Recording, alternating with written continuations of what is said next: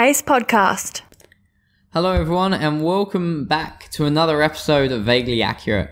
Today's preface, we're going to get straight into it. Our food for thought to share with your friends and family at the dinner table is given to us by Nerdy Words. They are a Ace Podcast Network show. Three guys give their two cents on heroes, games, and all things entertainment and nerdy. I really enjoy this. I'm a bit of a geek myself, so check them out. And like always, see if they're your cup of tea. Their tabletop fact for us, or factoid, is that the embryos of most animals, humans, other mammals, birds, reptiles, etc., look so similar in their early stages that it's almost impossible for an untrained individual to tell them apart. Which would be really awkward if you took your babies home from a hospital at that stage, because you might end up with reptile child. It's a little weird. Um, anyway, today's episode we have Mark Zammit. He is a particle physicist or an atomic physicist to be precise, uh, looking into collision theory. He is current. He is a post PhD researcher. He is now employed at a nuclear fusion reactor. Anyway, so let's uh, get into this episode. And as always, let us know what you think. If you have any questions, shoot them my way, and I'll see what I can do.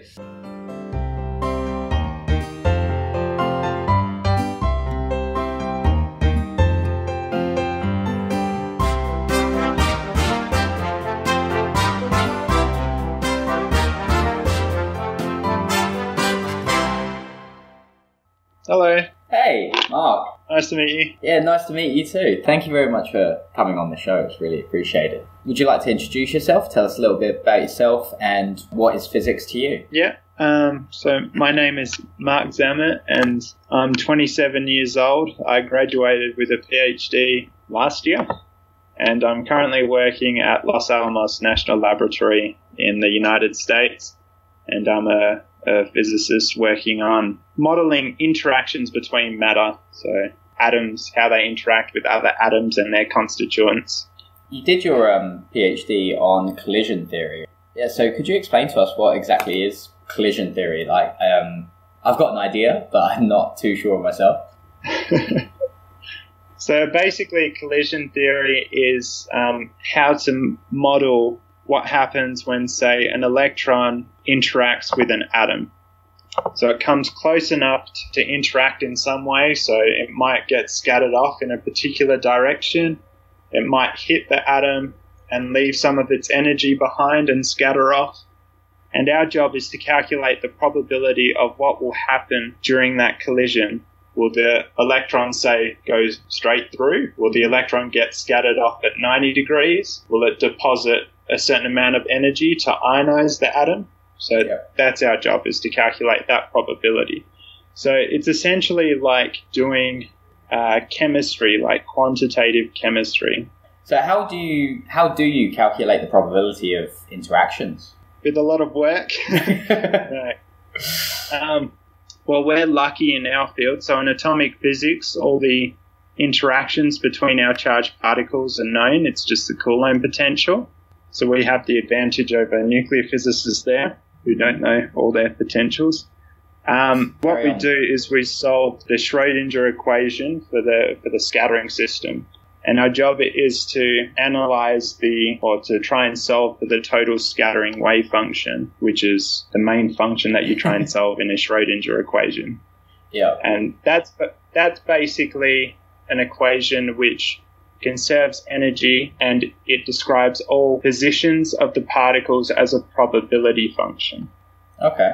So when you Yeah. said nuclear physicists don't have the properties to determine probability, um, what exactly are you referring to there? So I I- I'm not a huge expert in nuclear physics, but Yep. some of the potentials that um, nuclear physicists use aren't known. You can't write them down on a piece of paper. Okay. Um, so they have to do a bit of guessing sometimes, and they try and match with the experiment to try and figure out if the interaction that they're they're using in their models is correct. So it's sort of work you work backwards almost. what got you interested in collision theory itself? So when I was doing my undergraduate studies, I got interested in research from my sister, And uh, I went around asking all my professors and tutors what research they do, what they're working on, stuff like that. And I ended up meeting one of my supervisors, Igor Bray, who told me about collision theory, the method that they use, which is essentially uh, an exact formalism. And what they calculate is applicable to lots of different fields. And the main one which grabbed my attention was fusion technology. The goal of of fusion is to recreate the sun basically and harness its energy to produce electricity. Um, it's like the next generation of nuclear power that is essentially clean. There's not much radioactive um, byproducts. It's environmentally friendly, and you basically get the fuel from seawater and lithium, which are pretty much inexhaustible fuels on this planet. so it should last us millions of years if if we get it up and running. That's really what yes. attracted me is that involvement in the fusion technology project and the involvement with ITER. So with um, I suppose just for any listeners, I know this can come across as quite an in-depth question, um, but could you give us like a fusion and fission 101? So nuclear power right now is done mostly by nuclear fission, um, and you're working on yep. the largest project for nuclear fusion, if I'm correct. Could you give us a 101 quick minute or two on what's what is fission, what is fusion, what's the difference? Yeah. Okay, so nuclear fission is um, when humans were able, well, not humans, but nuclear fission is basically what happens when an atom is split and that releases a whole bunch of energy, basically. Uh, so basically, nuclear fusion is when two nuclei come together and fuse. This usually happens between, um, well, most efficiently between deuterium, which is an isotope of hydrogen, so that's one proton and one neutron, and tritium, which is one proton and two neutrons. So they behave like hydrogen on the sort of atomic scale, but on the nuclear scale, they behave differently. And when they come together and fuse, they can fuse to form a heavier nuclei, so two protons and two neutrons. So that's a helium atom. And in that reaction, a neutron is also emitted, as well as a whole bunch of energy. Um, and that is more efficient than nuclear fission. What seen to be is more efficient that way. Basically, our sun is one big fusion reactor. It fuses hydrogen, helium, all the small elements and basically creates heavier elements. So when you said, I suppose, on a nuclear scale, this may come across as a daft question, but what do you mean by a nuclear scale as opposed to atomic scale? Okay, so it basically determines the amount of distances between particles or between things. So atomic physicists, well, someone like me would work somewhere between, um, well, we work on the Bohr scale, which is like 10 to the minus 11 meters or so. Nanotechnology people, I think, work between 10 to the minus 6 to 10 to the minus 9 meters. This is like the distance between atoms or molecules or things like that. Whilst nuclear physicists have to deal on the scale of distances between particles within the nuclei. I wouldn't know off the top of my head how close they are, but they are a lot, lot shorter distances compared to say, a proton and an electron in a hydrogen atom. Yeah. And that's where the, yeah. I suppose, inconsistency comes in terms of looking at nuclear science. They're not too sure on the probability of reactions because the scale is just that yeah. much smaller. It, it's too small and it's very hard to, to test these things as well. Yeah, going back to, uh, I suppose, your research, did you do your honours project on collision theory or something similar? And when you were doing your research, what was the methodology you used for your PhD? so, in my honours, I did do, yeah, I did my honours project on collision theory again. Um, and that was on looking at collisions in a in a plasma, which is something that you know the sun is, and what they would use to make fusion reactions. And the methodology we use is, as I was saying, is trying to solve this Schrodinger equation for the for the scattering system, so all the particles that are involved in the collision. And we do that by just using quantum mechanics, a bunch of maths and programming and supercomputers, basically. So a lot of nu- um, numerical modeling going on, and yeah, pretty much. Um, yeah, everything we do is on the computer. No, a few analytics, but not too many. Did you find there were any limitations when you were doing your research? Mostly time. time on on my side and also computing time, so that we we don't have all the access we would like to supercomputers. um, so that's a bit of a limitation, uh, particularly for what was my PhD project, which was on scattering from molecules. So they have an added complexity of vibrational motion and rotational motion compared to atoms, which are just a fixed center. Yeah.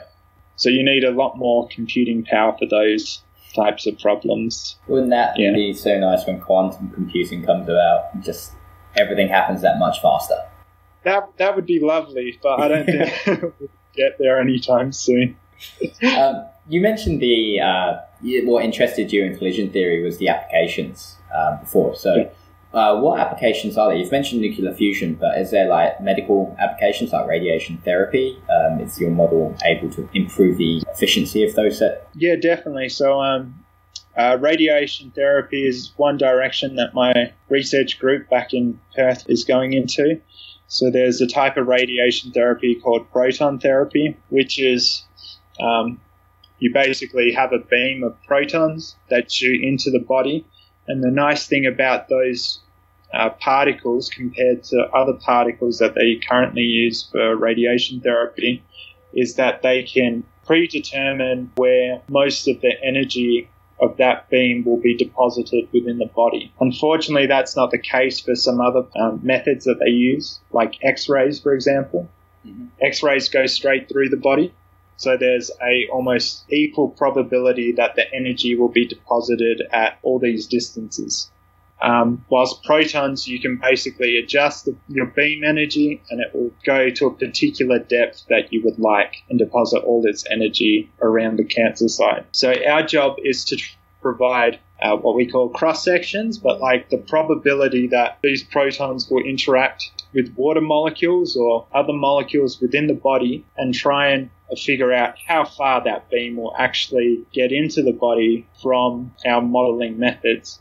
As well as that, we can also try and determine what happens. Say, if a proton hits a you know water molecule, it might ionize it. That electron can then go off and hit other molecules within the body. And what happens then? Like, where does that energy go? So Sorry? that's called secondary ionization, isn't it? So it can happen by basically all sorts of particles. They usually call them like um, an electron shower, I think they call them. So basically, you have one particle comes in, ionizes that particle, it goes off, ionizes something else, whilst the electron that originally got knocked out of the molecule goes off and hits another molecule and starts another ionization shower but it can lead to all sorts of other processes as well, which can be dangerous. So, one of the more dangerous processes that can happen is that uh, some of the molecules can actually grab one of the electrons, say that were, were ionized, grab it and bind it to the molecule, and then it will disassociate. Um, and there was a paper in Science which has been cited a whole bunch of times, maybe thousands of times, which shows that that is leads to DNA damage, basically. So moving on a little bit, like you finished uh, your PhD and you received an award. Um, was that an award from Curtin itself, or was that an industry-funded award? And what did that um, mean for you?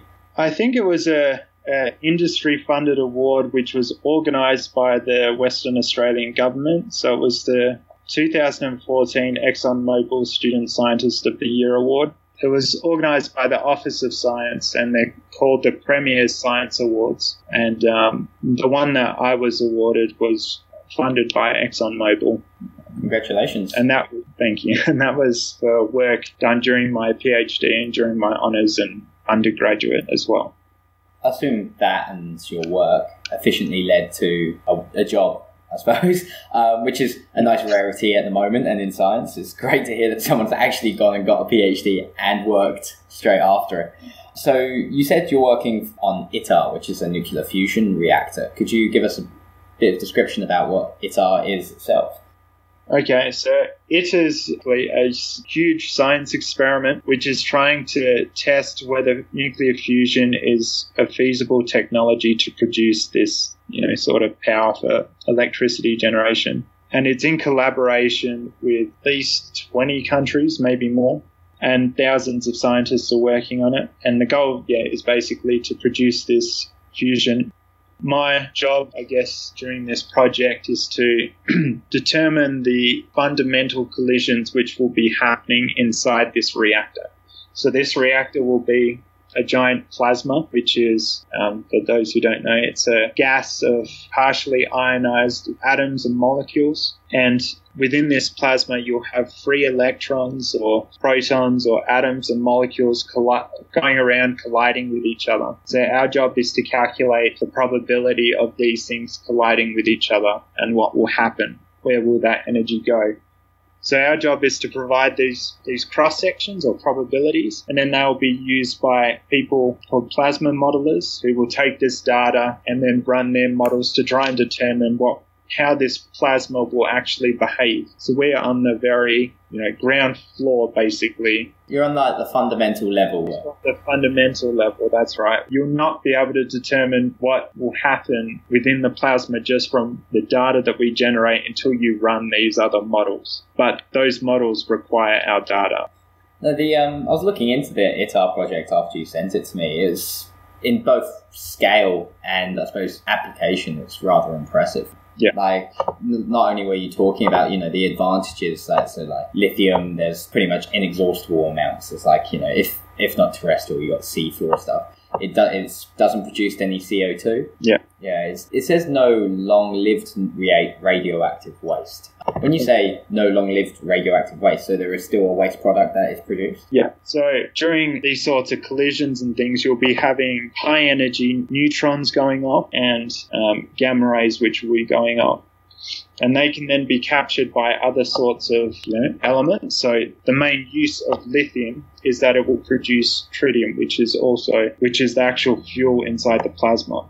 Yeah. So what happens there is that the plasma is going to be covered by a lithium blanket, they call it. Yep.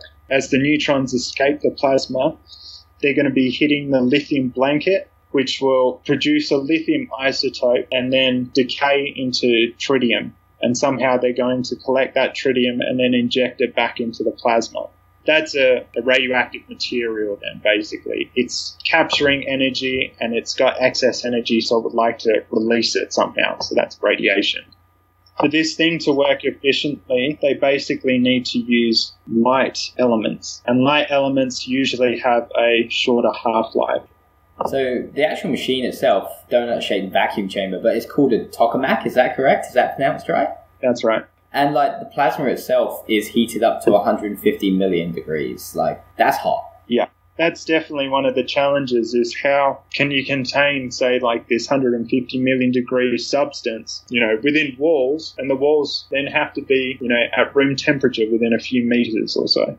Do they have That's a method for that? One of the main main issues, I guess. So there's a couple of things that they use. So they're using, um, I believe, beryllium coating on the walls, which is what's used for, I think it's an aerospace material. Mm-hmm. Basically, it's light, which I was saying, like these light element is one of the, the useful properties in this machine. Um, and it's also got a high resistance to you know, to temperature. Yeah. Um, but the the major thing, so why it's shaped like a donut and everything like that, is that there's going to be magnets surrounding this donut, and these magnets will keep all the charged particles within this sort of vacuum without escaping. That itself sounds, well, ignoring the whole complexity side of it, are there any dangers with that? Because nuclear power stations, there's you know there's been a few catastrophes. Yeah. With nuclear fusion and this uh, tokamak itself, having that heat and that pressure that's associated with it contained within the site, is there a potential for any mistakes, errors, or catastrophes to emerge from that? Especially if a magnet was to fail for. I'm sure they have fail safes in theory. Yeah. As far as I know, so things can definitely go wrong. They can always go wrong. Um, but if there's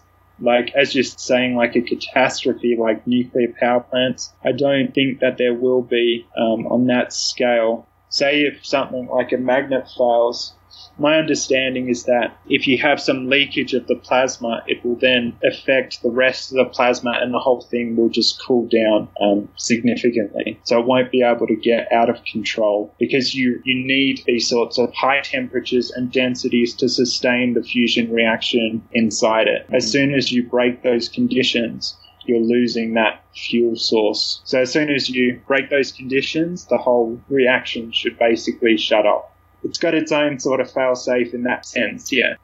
How did you get the job? Well, I was quite lucky. I had some good thesis supervisors who um, asked all their colleagues to, to look for a job for me. Oh, fantastic! And, That's always um, nice. I was lucky, yeah. So I was lucky enough that my boss here he had some some money or was looking to hire a postdoc. Um, so th- that's pretty much how it went. Just word of mouth and telling people that you know they had a student that needs a job, and they I'm sure they said that I was okay. yeah, so I think that's how it really goes is as soon as like you know people talk to each other and stuff like that, it's really who you know rather than yeah. No, I agree. yeah. How are you finding America? And more importantly, how do you find the research environment in the USA in comparison compared to Oz? The well, the research environment that I'm in is at a national lab, which I think is quite different compared to a university or something typical like that. The lab employs around 10,000 people, so it's a massive institution, and a lot of those people have PhDs. So I'd say that the, the institution itself, it's completely multidisciplinary. Lots of people that, yeah, doing different things. You can go to talks every day on different subjects and stuff like that. That's awesome. Um, they, yeah, they have um, experiments here, which you know we probably only have a couple in Australia. There's probably like dozens on this site here. It's a very different, different sort of lifestyle and an area and culture. Yeah. Um, it's quite nice. Yeah. and then moving to America in itself, which has got a very different lifestyle culture, and then getting this whole kind of unique village of intellectuals and academics together. I can imagine Yeah. being quite a quite a step out of place. Um, Yeah. Yeah. This place is in the, the desert as well, and in the mountains. So that regard is, is sort of similar. So it's similar to Perth that there's deserts surrounding it, but mountains are, are not something that I've seen much of, or snow. So I'm looking forward to that. Oh, you get snow as well. Yeah, yeah, Oh, definitely get a lot of snow here. There's a s- snow hill and an ice rink and stuff like that. Oh, fantastic. Like CERN, once the media grabbed attention of, or grabbed hold of that, they kind of get, came up with the whole theory. When CERN gets turned on, there's going to be a huge black hole and it's going to engulf the Earth. Has there yet, or is there, if there were to be, a post, uh, an apocalyptic scenario just to derive from this project or your research field in collision theory itself? Yeah. Have you got Have you got an idea of what one could potentially be? Yeah, I, I thought about this a little bit, and um, my immediate sort of thought went to um, antimatter. So another thing that we we model collisions of is collisions of antimatter with normal matter. Um, and so, for example, we we model how a positron, which is an anti-electron, will collide with atoms or some water molecule or something, and that's supposed to be useful in PET scans. Um, so my immediate thought was to have a large amount of massive antimatter somehow let loose in all at once into a room or or into a place with normal matter, um, and that would cause some sort of explosion. That actually is off a, a movie as well. Which um, have you seen Angels and Demons? No, is that the Dan Brown book? Yeah, Yeah, no, I haven't seen it. I've, I've seen it out, and it's just kind of been sitting there on my to-do list at some point. Is that generally Okay, the well- plot of the movie?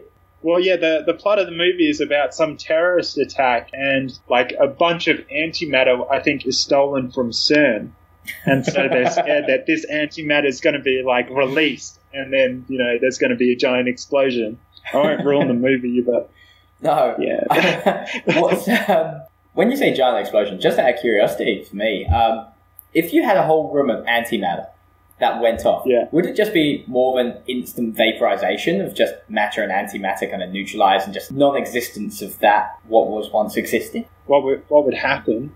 Yeah. Well, basically, when antimatter annihilates with normal matter, it releases um, photons, so light, and that's pretty much energy. Um, but if you had a whole room full of antimatter, and I'm guessing you mean like solid antimatter, so like large amounts of mass, I think that would at least destroy the planet. Um, the I think that there's some um, statistic like if you had one gram of antimatter, that's enough fuel to take you to out of space or something from Oh, the wow. planet. Any chance of harnessing that for our energy needs? Uh, it's not easy. At the moment, CERN is trying to produce anti-hydrogen. They have done that, but you know, not for very long. Not overly stable, isn't it? Yeah, or not for you know in large quantities. But the goal is to try and make large quantities to try and see how it actually behaves first before we can harness. So these are all very alternative energy sources as opposed to renewable energy. They're just very powerful alternative sources, I suppose, that could maybe one day harnessed in the future. Yeah, yeah, maybe in the very distant future. Yeah, maybe not in our lifetimes. Yeah, we'll, we'll see. Thank you for coming on the show. Do you happen to have any take home messages for anyone who might be studying physics or could be interested in the work you do or even any um, affiliations you support? if, so- if somebody wants to read up a bit more on my work, there's a few um, articles on the internet that I, I can send you that you know might be interested to people, interesting for people. That they're sort of like PR articles. Uh, in terms of a take-home message, if you're interested in science and you want to develop a career out of it, make sure that you are happy with your supervisors and actually research about your supervisors to make sure that they're they're quite good. I was very lucky, I think, with the supervisors I got. They were very helpful, very knowledgeable, good standing in the field, and they did try and help me after my PhD to get a job. Not all supervisors are like that, so it's That's a great thing, having the yeah, it, support it from your was a very nice thing, especially in a PhD when you're stressing out to try and finish your thesis. Definitely um, recommend looking into your supervisors carefully. So, everyone, that was Mark Zammit. I'd like to thank Mark for coming on the show and teaching us what you know. And I'd like to thank you guys for listening again. As always, if you want to give us your feedback or give us a factoid for feature in future episodes, get in contact with us via most social media platforms. I will be putting up Mark's uh, article on the website, so you definitely check that out, vaguelyaccurate.com. And yeah, I can't wait to see what nuclear fusion does for us in the future. I hope you enjoyed the show, guys. Take care.